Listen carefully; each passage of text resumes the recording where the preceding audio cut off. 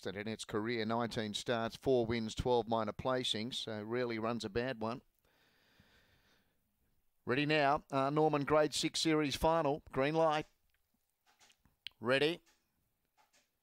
Favourite off the pink Blastoise, they're away. Stepped okay. Beginning well was uh, Daniels Kelly in the middle of the line, and Dolly Joe, the reserve, pushed up. Blastoise went up to be third. Behind them, DJ's Fortune with Mazette.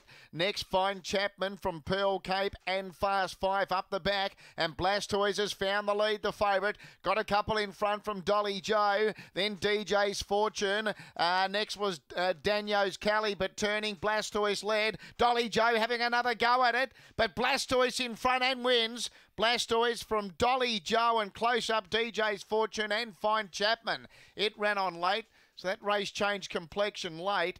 Then Fast Five Pearl Cape Daniels Cali. It was one of the last to pull up with Mazette. Eight the winner here, Blastoise.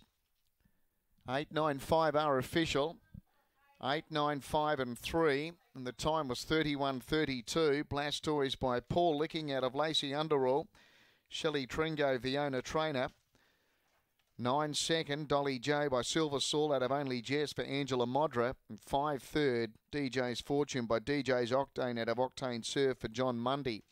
Eight, nine, five, and three was fourth. Fine Chapman.